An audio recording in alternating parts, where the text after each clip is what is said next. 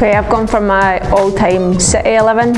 Um, in goals, I've gone with Leigh Alexander. I think Leigh, she's got so much trouble um, in the past.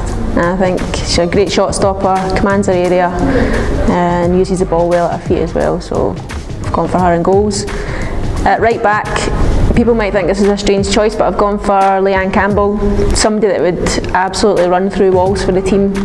Um, she loved a tackle, never missed a header, um, never, I would say, the best on the ball, but um, as I say, would run through walls for your team, so you always need somebody like that in, in there. Um, my back, my centre half pairing would be Eilish McSorley and Rachel Corsie. I think they played as a pair in the City team, and I don't think we conceded many goals at all when they, they were a partnership. Again, both strong, love to tackle, win the ball in the air. But for me, when we're on the ball, um, they've been the, best centre half partnership that we've had. And my left back would be Emma Mitchell, again for the same reasons as um, my right back, being Leanne Campbell, that Mitchie would run through a brick wall for you as well. Um, there's no many wide players that would get by her if when she's playing left full back.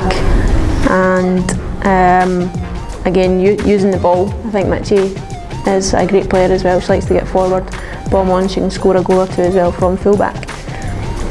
And in midfield, this is a difficult one because we've had quite a few um, very decent midfielders over the years, but I've gone for Jo Love as my, my kind of sitting midfielder. I think she's developed that part of her game really well in the, the past few years.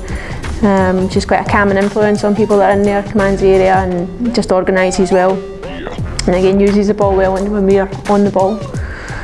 Um, ahead of Jo, I've gone with Sue Lappin, who um, is one of the best players that I've ever played with. She was our go-to player, always scored a goal when we needed her to, um, and just a, a, great person to have in your team in terms of uh, making sure that we got the results that we needed and the performance was, was up to scratch.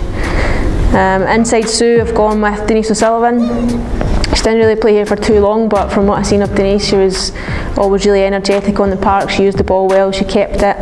Um, she might have looked like a quite a slight build, but um, there wasn't many people that could get the ball off Denise. And again, she liked to score a goal, so she's definitely in, in my, my 11. My three forwards, I've gone straight through the middle with Julie Fleeting, up there with the best player um, I've ever played with. She was never in her greatest uh, form when she was with City, unfortunately, um, due to injuries and stuff. But even at that, she she provided so much for the team. She's a focal point. She scores goals, um, and she never really got a lot of credit. But in terms of holding the ball up and driving at people, um, Julie could always do that as well.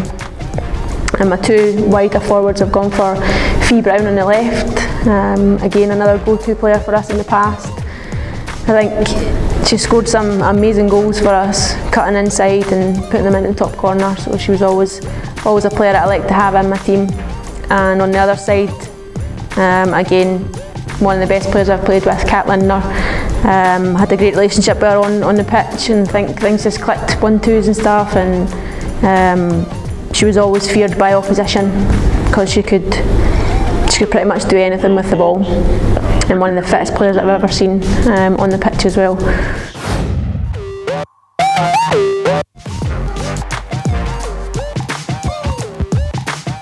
And my super sub, somebody that was at City for a long time, scored a lot of goals, but uh, unfortunately never got the chance to play with her, would be Debbie McWhinnie. Um, played against her a few times against Hibs Spartans, and I always thought that she was just a phenomenal player close control, scores goals, she went past people for fun. So um, I would liked to have had the opportunity to play with Debbie. And that's my all-time City 11.